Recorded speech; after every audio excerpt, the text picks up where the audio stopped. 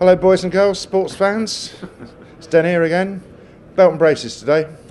Anyway, I'm with Kevin Roberts of FinancialForce, and we're going to be talking about ClickLink, which is an extremely cool way to be able to link um, custom objects, any object pretty much, mm-hmm. that sits in a Salesforce uh, system to anything that we have in a FinancialForce system, right? Yeah, that's correct. Okay, Kevin, tell me the story. Sure. So what we've uh, as we've gone about implementing FinancialForce accounting, we found each and every implementation we have to look at where is the data coming from that generates revenue or generates expenses? Mm. Where is that data coming from to create a sales invoice, and where are we going to where we get that data that generates a payable invoice? Mm. What we don't want that exercise to be is having identified it to turn that into a custom development exercise to transform that data and, and, and push that data into FinancialForce. What we've been working on is providing a, a, a configuration method mm. of being able to, as a consulting exercise or as a, a, systems analyst exercise, to go through, map the fields, and then create the buttons on the pages to actually go create that invoice or create a job that runs overnight, say process all everything that's ready to be invoiced. Um, and what we're doing, we've hugely compressed the time of implementation um, because we've now got a configuration point and click tool to be able to map data from anywhere on the platform and get it into fin- fin- fin- FinancialForce.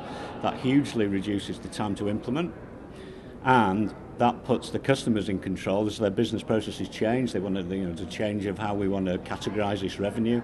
They can do it themselves. They don't have to go back to us or a developer and say, "Can you get this code changed?" So, point number one: configuration, not code. Point number two: fast track implementation. Sure. Okay. Yeah. The thing that interests me about this is, is the question of uh, master data and master data management because yep. there's always this argument, you know, uh, sales think that a customer record looks like this and finance reckons that a customer record looks like that. Yep. How, how do we overcome those problems or do we even need to overcome that problem? Um, we, um, there's, there's two things. Yeah, we, the, we've got a shared. Sorry, Oops. Sorry. It's all right. PG Tips calling. Never mind. Let's carry on.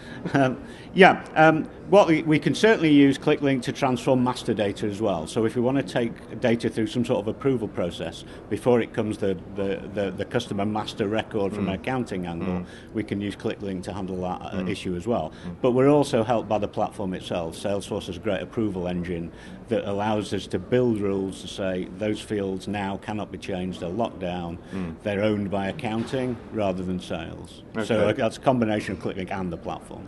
Okay, so it's fa- I guess it's fairly lightweight from from a, um, uh, a systems perspective. But then, having said that, a lot of the infrastructure that you would otherwise need is already provided by the platform anyway, right? I mean, we're all about leveraging what the platform gives us, and then we build function on top of the right. platform. Yeah. Absolutely fantastic, boys and girls. Now, maybe answer the phone. Sorry about that. okay, Kevin. Thank you very much indeed. Thank you. Pleasure. Thank you. Sec. Okay then, Kevin. Let's um, let's get this show on the road. What are you going to show me? Okay. So what uh, what I want to show here is how ClickLink is all about moving data from any object on the platform uh, to any FinancialForce doc- document. So what I'm going to use is take an example from the Service Cloud, and I want to take a case and turn that. Uh, we've got a billable element to the work we're doing on this case, so I want to raise an invoice for that case. Okay.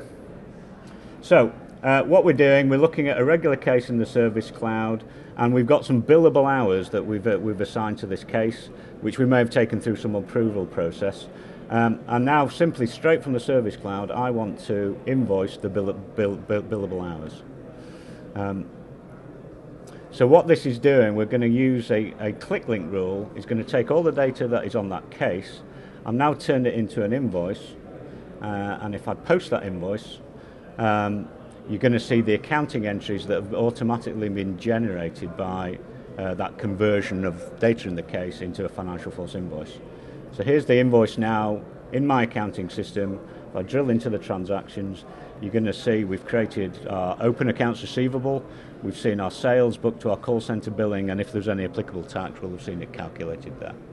Absolutely fantastic. And I didn't have to know about um, the relationship between um, the FinancialForce uh, system and the Salesforce system at all. I simply had to be able to pick up the object and off we go, right? Correct, because the rule uh, is where we define those relationships, and the rule is actually going to build the accounting rules for us.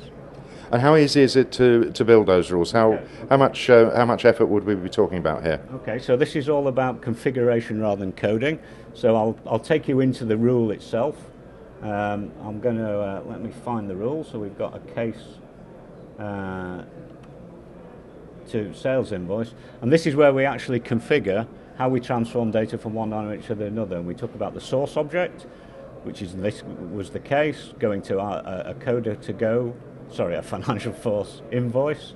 And then we have mappings for every field we want to create. We want to create the account on the case and push it over to the, the account. We want to take the ID of the case and push it on the invoice so we have the link. We can drill back from the invoice to the originating case. Uh, I'm moving the created dates, the assessment fees, and then we've got that's creating the invoice header, and then I have another rule that is actually generating the line items on that invoice. So the rule is defining what product I want to book it to, what the quantity is. I'm setting a default description, and this is actually going to generate it. This is actually assigning which GL account to book it to. Absolutely fantastic. Thank you very much indeed, then, Kevin. Thank you. Okay.